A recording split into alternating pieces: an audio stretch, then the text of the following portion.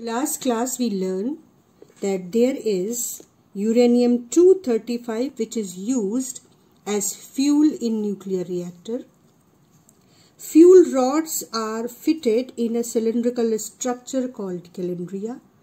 Then nuclear fission is a nuclear reaction in which uh, slow moving neutrons strike with the uranium 235 uranium 235 absorbs neutron, becomes unstable, compound nucleus uranium-236 is formed and then it breaks into two almost equal halves and neutrons and a huge amount of energy in the form of heat is liberated. This is the process over which nuclear reactor works.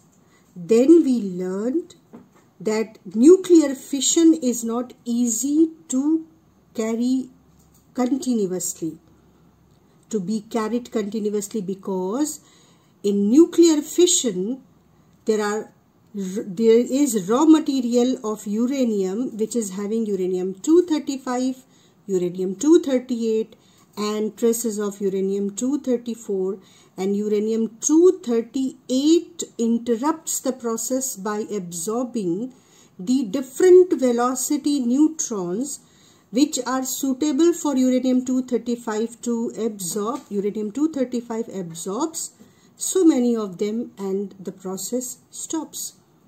So, we use moderator. The function of moderator is to slow down the neutrons emitted after the fission reaction.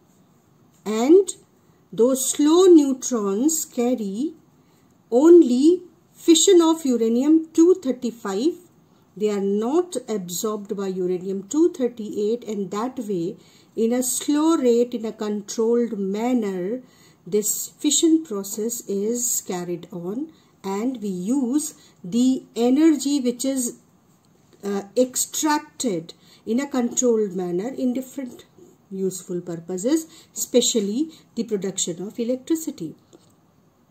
Now moderator after the function of moderator and what is moderator and we know that heavy water or water and in some reactors graphite is used as moderator. Now we are going to discuss today about coolant. We just have learned that nuclear fission process is highly energetic process. In this process huge amount of energy is ejected in the form of heat. So obviously the temperature of calandria will increase at a very high level. So we need a material which can cool down this temperature and for that we use water. Either heavy water or normal water according to the technique used by the nuclear reactor. What is the function of water as a coolant? Now just look at the calandria. These rods are immersed in the water. Now when the heat is ejected in nuclear fission process, this water absorbs that heat along with the function to slow down slow down the neutrons this water also acts as coolant absorbs that heat so temperature of heat, uh, temperature of this water increases. And we know that the specific heat of water is high. This water is heated up to 300 degrees Celsius.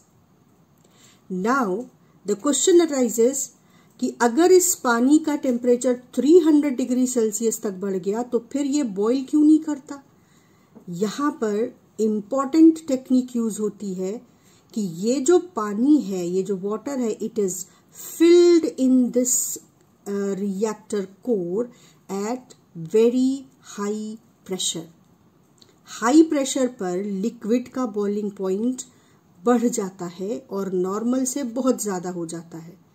तो ये water बहुत high pressure पर इस calandria के अंदर nuclear reactor core में fill किया जाता है।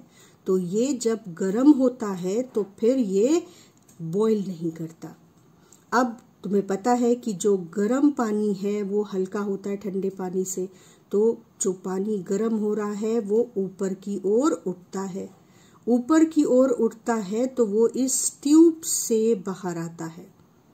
इस ट्यूब से बाहर आता है तो एक स्ट्रक्चर है न्यूक्लियर रिएक्टर में, जिसको हम कहते हैं हीट एक्सचेंजर इस हीट एक्सचेंजर में प्योर वाटर फिल्ड रहता है, जो पास के किसी वाटर रिसोर्स से लिया गया होता है सी लेक रिवर वहाँ से लिया गया होता है तो ये हीट एक्सचेंजर में वो ठंडा पानी फिल रहता है। जब ये गर्म हॉट वाटर जब इस ट्यूब से होकर गुजरता है तो ये इस पानी को अपनी हीट दे देता है और ये ठंडा होकर वापस एक पंप के थ्रू हाई प्रेशर पर वापस इस कैलेंड्रिया में, इस न्यूक्लियर रिएक्टर कोर में भेज दिया जाता है। ये जो वाटर है, ये इस पानी के, जो कि बाहर हीट एक्सचेंजर में है, उसके कांटेक्ट में नहीं आता, क्योंकि ये वाटर डायरेक्टली न्यूक्लियर फ्यूल के कांटेक्ट में है तो ये रेडियो एक्टिव है। जबकि ये जो न्यू ये जो वाटर है, जो हीट एक्सचेंजर में है, ये सेफ़ वाटर है। तो ये तो वापस भेज दिया गया। इधर इससे क्या हुआ? ये जो वाटर था, इसने अपनी हीट इस पानी को दी। अब ये तो हाई प्रेशर पे है नहीं तो ये बॉईल करने लगा। बॉईल करके ये कन्वर्ट होने लगा स्टीम में। स्टीम इस ट्यूब के थ्रू एक बहुत बड़े से रूम में पहुँचती है, जहाँ पे ह्यूज टरबाइन लगा होता है। ये स्टीम उस टरबाइन को रोटेट करती है। वो टरबाइन एक इलेक्ट्रिक जनरेटर से अटैच होता है। उस टरबाइन का शैफ्ट वो उस जनरेटर को चलाता है और इलेक्ट्रिसिटी प्रोड्यूस होती है। तो यहाँ पर पानी से स्टीम और स्टीम से टरबाइन के रोटेशन से न्यूक्लियर एनर्जी पहले स्टीम एनर्जी में यानी हीट एनर्जी में चेंज हुई और हीट एनर्जी ने फाइनली इलेक्ट्रिकल एनर्जी को प्रोड्यूस किया। या मैकेनिकल एनर्जी ऑफ़ स्टीम जो है, वो इस टरबाइन को घुमाती है और ये टरबाइन मैकेनिकल एनर्जी को जो स्टीम से मिल रही है, उसको इलेक्ट्रिक एनर्जी में कन्वर्ट करती है। तो ये न्यूक्लियर पावर प्लांट का एक सिंपल एक्सप्लेनेशन है। अब ये जो स्टीम टरबाइन को चला रही थी, ये इस रास्ते से एक ट्यूब के थ्रू एक चैम्बर में पहुँचती है इस चैम्बर में भी पानी सर्कुलेट हो रहा है। ये जो पानी है, ये पास के वाटर रिसोर्सेस से ये भी लिया जाता है तो इस पानी को, ये ये ठंडा पानी है तो ये जो स्टीम है, जब इस पानी की ट्यूब के कांटेक्ट में आती है तो स्टीम यहाँ पे ठंडी होती है। ठंडी होकर वापस वाटर में कन्वर्ट हो जाती है और ये वापस हीट एक्सचेंजर में भेज दी जाती है। और ये जो पास के रिसोर्स से पानी लिया गया था। ये स्टीम की हीट जो है, उसको एब्जॉर्ब करता है और इसको कूलिंग टावर के थ्रू ठंडा करके और कई बार वापस उस वाटर रिसोर्स में भेज दिया जाता है रिसर्क्यूलेट कर दिया जाता है। So we note down all the important points in our notes and the first point is that fission process produces huge amount of heat and the whole system of reactor core needs to be cooled down continuously and for this purpose water is used. This water acts as a coolant. तो अगर question जो frequently asked question है वो क्या है which material is used as a coolant or what is function of coolant So water, pure water or heavy water is used as a coolant and function. Fuel rods are surrounded by this water. Heat generated during fission process is transferred to water surrounding these fuel rods. This increases the temperature of water up to 300 degrees Celsius. But at this high temperature, this water does not boil because this water is filled at very high pressure. So already as we have discussed that boiling point of this water is much higher than its normal boiling point. So these points you should write in points so that it is easy for you to go through the revision process. Here one thing is important that in some reactors gases are also used as coolant. So if you are finding some question in which options are given you don't find water there but you find some gas there then yes gases are also used as coolant. Now another advantage of using water as moderator as coolant is that water also shields us from the nuclear radioactive radiations. It is very good absorber of radioactive radiation. So that's wonderful. Water has three advantages. It can uh, be used as moderator. It cools the nuclear reactor and it is a shield also for us to save us from nuclear radioactive radiations. Then we know that we this uh, uh, hot water which is uh, coming from the uh, nuclear calandria, re nuclear reactor core calandria, this hot water moves to heat exchanger. Then in the heat exchanger, the water comes in contact with the cool water, gives its heat to that cool water of the heat exchanger and it is again filled in the calandria at a high pressure. Now, now when this uh, moderator or coolant transfers its heat to pure water of uh, heat exchanger, that water of heat exchanger starts converting into steam because of the heat absorbed from the coolant of the nuclear reactor then it moves to turbine room. There it uh, rotates the turbine. The huge turbine runs the generator and the generator produces electric energy. And then the steam which is passing through the turbine moves to the next part of the nuclear reactor that is condenser. It's a place where the used steam is condensed and recirculated to heat exchanger after being cooled. So this is almost the whole process which is going on in the nuclear reactor.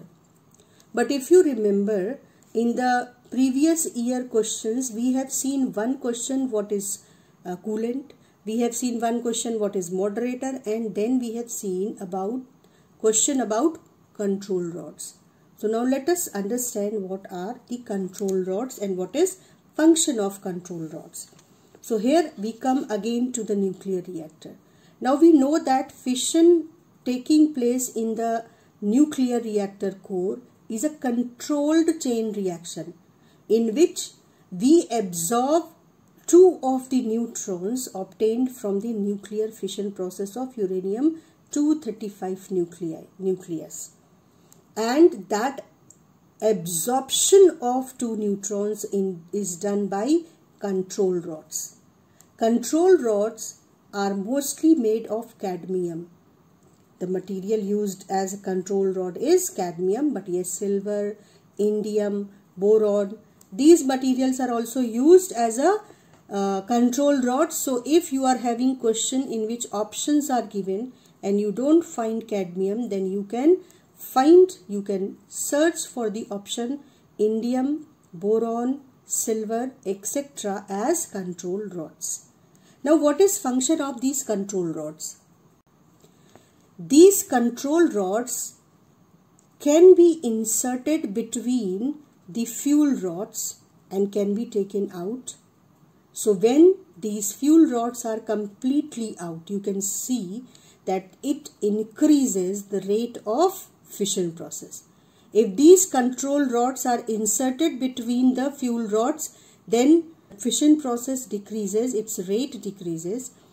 And if these control rods are completely inserted between the fuel rods, then fission process completely stops. So, actually, by inserting the control rods between the fish fuel rods, we can increase or decrease the rate of the fission process.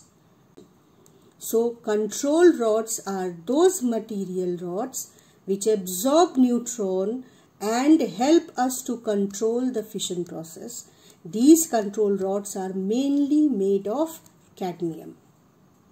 तो अब हम इस point को अगर हमें question पूछा जाता है कि what what are control rods तो हम लिखेंगे कि in fission reaction once the process start it can go indefinitely by the neutrons ejected during each fission process and chain reaction will become uncontrolled so what are the control rods control rods are use to control the fission reaction these rods are made of mainly cadmium but they can be of boron or silver or indium or any such metal which can absorb some of the emitted neutrons and can control the rate of the fission process when inserted in the calandria between the fuel rods partially.